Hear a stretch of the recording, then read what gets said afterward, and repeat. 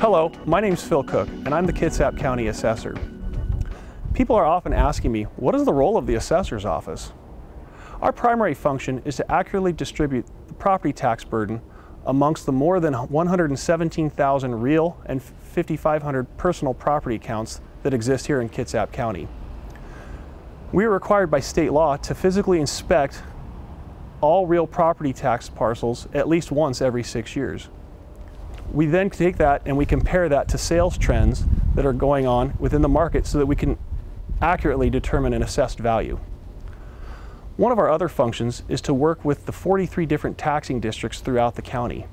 A taxing district is a school district, a fire district, a port district, or a variety of other different taxing districts.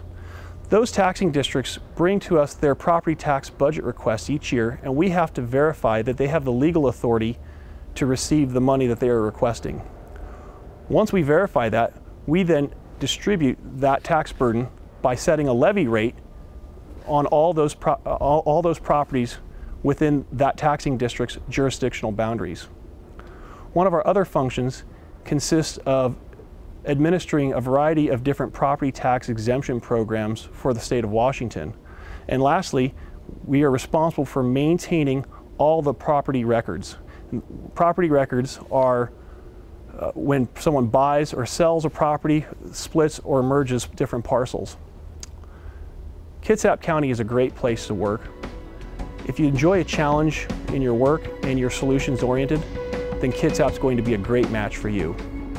My name is Phil Cook and welcome to our team.